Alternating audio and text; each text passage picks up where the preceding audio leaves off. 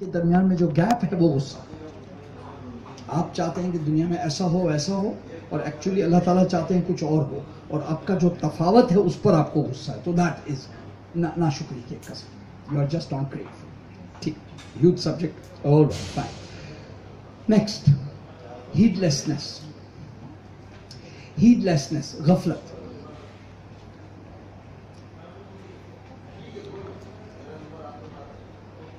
ए के ब्रोही ए के ब्रोही, हमारे मुल्क के बहुत बड़े वकील।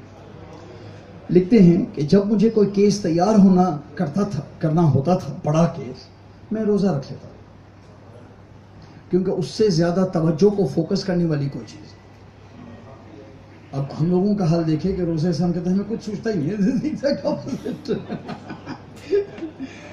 नहीं जनाब attention is extremely focused when distractions are taken away हम लोगों की नज़रें मुस्तकिल वो लेज की चिप्स पर लगी पड़ी है।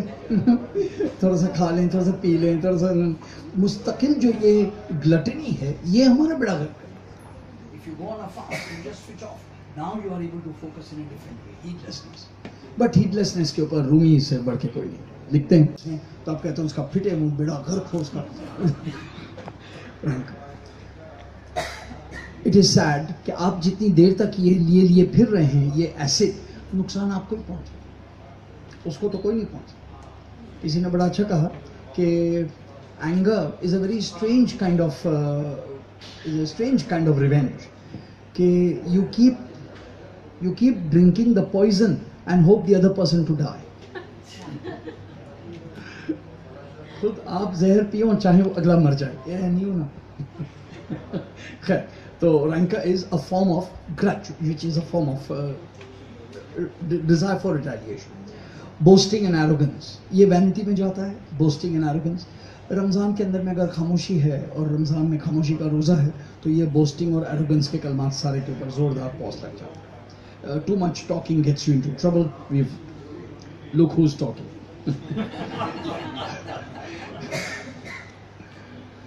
okay अब हम कहाँ पहुँच गए?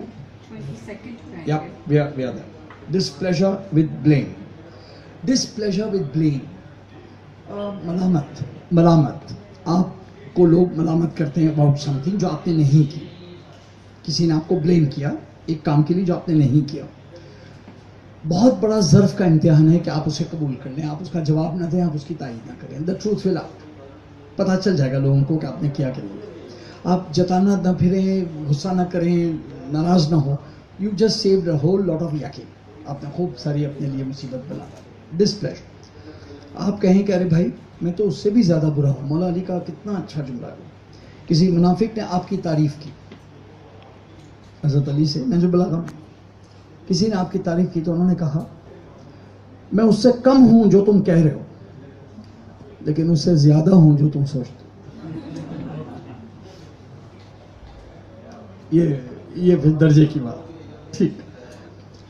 एंटीपैथी टुवर्ड्स डेथ एक सबसे बड़ी गफलत तो मौत की है ना, कि हम लोगों को लगता है कि ये तो दूसरों को होती है, हमें थोड़ी होती हमारे लिए तो मुस्तकबिल बईद में है वो future but Ramzan makes us remember it right ना जितनी कुर्बत से और जितनी करीब से भूख और प्यास और बेबसी के अंदर में जितना क्लोजली हम वो फील करते हैं, बस इतना ही है। इट इज़ वेरी इंटरेस्टिंग कि जायका टेस्ट जायका। देखिए, ये जो हमारे पाँच हवा से खमसा हैं five senses they are metaphors of distance listen listen देखना, सुनना। कोई चीज़ सबसे ज़्यादा दूर है तो नज़र आती। करीब आती है तो सुनाई देती। और करीब आती है तो छू लेते हैं। और करीब लाते हैं तो सूंघते हैं।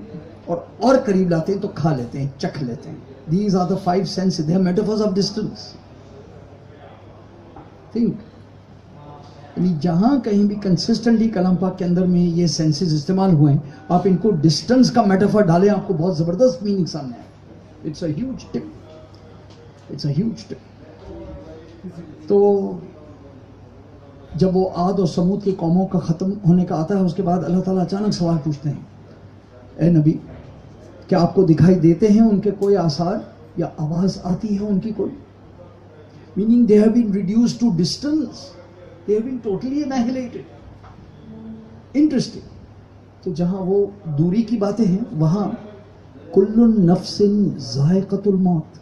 देखिए, हर नफ्स ने मौत का चखना है। तो closest and the most intimate metaphor is use for death three times interesting ये जायका जो तो फ़ूड से ऑफ़ होना और इफ्तार के वक्त जो जायका मिलता है, आप इसको याद रखें कि this is what it will be like this is how close it is